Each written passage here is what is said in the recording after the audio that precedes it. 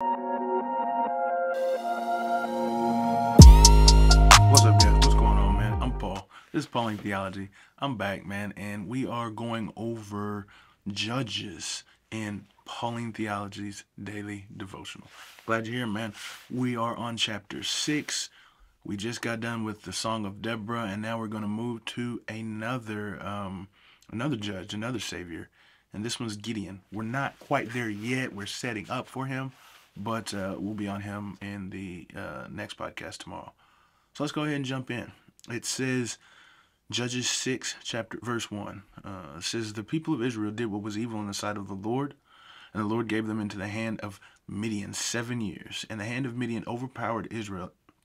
And because of Midian, the people of Israel made for themselves the dens that are in the mountains, and the caves, and the strongholds. For whenever the Israelites planted crops, the Midianites and the Amalekites and the people of the east would come up against them they would encamp against them and devour the produce of the land as far as Gaza and leave no sustenance in Israel and no sheep or ox or donkey. For they would come up from the livestock in their tents, and they would come like locusts in number. Both they and their camels could not be counted, so that they laid waste to the land as they came in. And Israel was brought very low because of Midian, and the people of Israel cried out to the Lord for help. And when the people of Israel cried out to the Lord on account of the Midianites, the Lord sent a prophet to the people of Israel. And he said to them, Thus says the Lord, the God of Israel, I led you up from Egypt and brought you out of the house of slavery. And I delivered you from the hand of the Egyptians and from the hand of all those who oppress you, and drove them out before you and gave you their land. And I said to you, I am the Lord your God. You shall not fear the gods of the Amorites, in whose land you will dwell. But you have not obeyed my voice. First thing we ask, what happened? What exactly is actually even going on right now? Well, it looks like these people are getting oppressed again. It says it's because the people of Israel did what was evil in the sight of the Lord. Like what they did was evil. They uh, turned to the Asheroth, the Baals. Matter of fact, later on in the thing, it says they're serving the gods or they fear the gods of the Amorites and the uh, the Amalekites and the people of the land that they're living in. So they have turned their eyes away from God and so they become oppressed. Who they become oppressed by is the Midianites and the Amalekites and the people of the east. It said they were so vast in number they could not be able to be counted. They were not able to be counted, man. It was huge. And a whole lot of folks, man.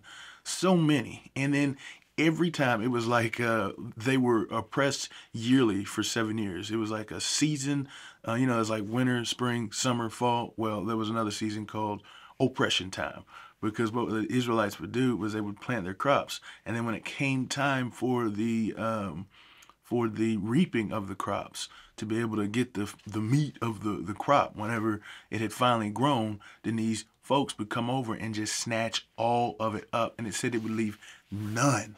There would be none left for the people of Israelites to eat. So they would literally uh, die, and they started getting uh, kind of scared and just hiding in the in the in the in the uh, caves. They built strongholds in the caves because they were afraid of these people that would come every season that the crop was ready to ripe.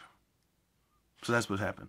And then it looks like after that, that um, when they cried out to the Lord, because you know that's what they do. That's the cycle. That's the judges cycle we talked about. It's that they do evil in the sight of the Lord, they get oppressed, then they cry out, to God, and then God raises up a deliverer, and then they defeat the people who are oppressing them, and then they the judge or, or whoever dies, and then they go back to serving the gods of that country. And this is the beginning of that. So when they cry out this time, I think God sends a person. It says that he sends a messenger. And this messenger speaks on the behalf of God and says something profound to them he tells them why this is happening. It says, I brought you out of the land of Egypt. I've done all of these things for you that I uh, saved you. I've, I brought to a land that you didn't even plant or anything in order for you to live there. I uh, took all of the people out before you so that you could stay. I've done all of this stuff. And the thing I ask you is don't serve the guys that are in that country, but fear me, serve me, worship me. But they did not listen. Therefore, for this reason, that is why you're oppressed. That's literally what the angel told them. That's what the messenger of God told them. So that's what we got. That's what's happening. As they're getting oppressed because they've served of the gods, they're crying out to God for salvation, and then God sends a messenger and tells them exactly why they are in the situation that they are in. What does this say about God? Well, I think uh, it tells us that He is faithful. So this isn't the faithfulness we always want to see. This isn't the faithfulness that we always hear about. Most of the time we talk about how faithful it is to be uh, good to us. You know, we're like, man, he is so faithful. He is always with us. He is always uh, there for us. But this is faithfulness in the fact that when he said he was going to do something, which he said, if uh, you don't serve me, then I'm going to cause the people of the land to come over you, to oppress you. I'm going to put you back as slaves like you were before. Well, he is faithful to do that. He said, if you do this, which is turn away from me, I will do that, which is uh, make you be oppressed. And he is faithful to do that. That's not the best faithfulness we want, but it is an attribute of who he is. He is faithful. Well, what do we see about, um, and actually, one more thing. I'll say he's gracious. And I know that's the main theme and so I, I want to continue with that route. But he's gracious to at least let us know why these things are happening. When we see our lives sometimes crumbling before us, then he is gracious to let us know it's because of our sin. Now, it's not always because of our sins. I, I don't want to make that assumption out of this scripture that we're reading. But I do want us to recognize it might be sin. And it's for us to call upon God or read His Word, understand His Scriptures, for us to recognize that. But He is gracious enough to show us and tell us that it's sin in our lives. He is, he is, he is not a God that doesn't speak. He's not a God that doesn't speak. That's that's an attribute that he has is that he is a speaking God. He is not mute, deaf, or dumb. He speaks. What's to say about us? Well, it says that we like to do whatever we want to do.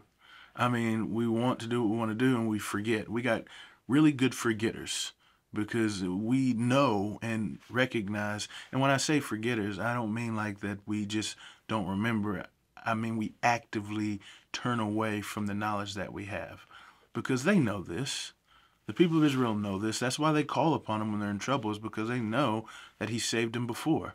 He, they know that um, he has delivered them before. And so they call upon him. But as they call upon him, it's like they forget the details. They forget that uh, they were they said that they wouldn't serve other gods. And so I think that's what man does is that we we forget the details. We always want the help, but forget the parameters surrounding it. You know what I'm saying? Mean, what's how can we apply this to ourselves? Well, I think the application here is uh, to recognize the faithfulness of God. Now, I like the idea of recognizing the faithfulness of God in both ways, not just in uh, his uh, uh, his goodness to be with us in all things, but that he actually just does what he says he's going to do. That's that's I think that's the biggest thing, is that remembering that God just does what he says he's going to do. Um, it's like a father. Um, whenever he disciplines his child, he says, "Don't do that, or you're gonna get a spanking." And when the father gives a spanking, then the child recognizes, "Well, my father is going to do what he says he's going to do." And then, if uh, the other way that was also so beautiful is whenever he, he, he is with us, when he, he when he promises those things, he says, "If you walk with me, I will lift you up, and I will strengthen you, and I will be your strength." it's in, in weakness we are made strong. And so when we are broken down and beaten down, that we can overcome and be strong through Christ, those are beautiful promises. Just like a father when he's like, hey man, if you get your work done, we'll go play some baseball. We'll go play catch outside. You get your work done and your dad plays catch with you outside. That's faithfulness too. So in both ways, I think we need to remember that faithfulness. But I think that remembering the faithfulness also is we should be faithful. Like when God calls us to do something, He tells us to do this, we should do it.